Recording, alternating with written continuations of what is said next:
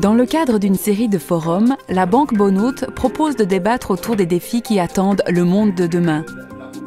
Le 14 novembre dernier, l'idée était d'aller à la rencontre de la créativité et de l'innovation avec le co-inventeur de la Swatch.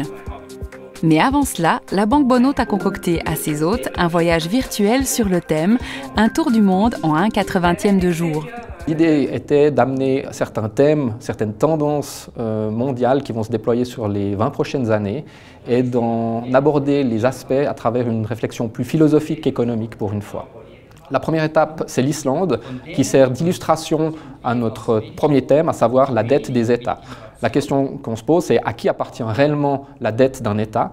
Et notre conclusion, c'est que cette dette est principalement virtuelle et qu'elle n'appartient à personne car personne n'en est réellement redevable. La deuxième étape du voyage nous emmène aux États-Unis avec le sujet de l'énergie, où en fait, avec un nouveau type de, de production d'extraction énergétique qu'on appelle le gaz et le pétrole de schiste, il y a une redistribution des cartes géopolitiques au niveau mondial, puisque les États-Unis devraient atteindre une indépendance énergétique euh, à moyen terme.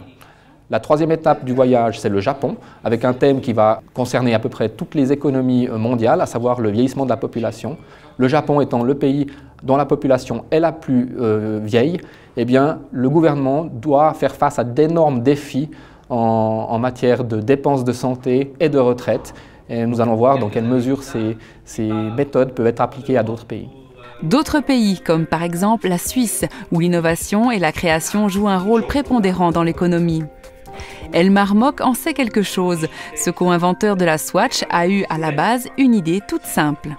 Die Idee, die man gesucht hat, was, welchen Weg kann man finden, um wieder Marktanteil zu gewinnen, die wir verloren hatten.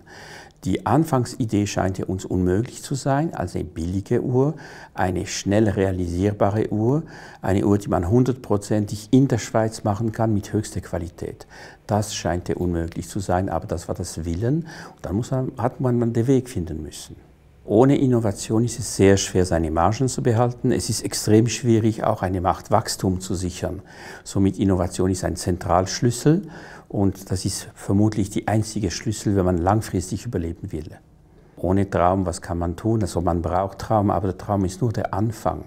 Man muss bis am Ende des Weges gehen und dafür ist Exploration und Verwertung seiner Qualität unbedingt notwendig.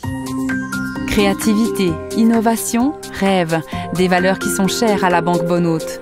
Aujourd'hui, dans un monde en mutation, la performance est toujours plus liée à la capacité de développer de nouveaux concepts et d'aller chercher l'inspiration ailleurs. Banque Bonhôte à Neuchâtel, banquier depuis 1815.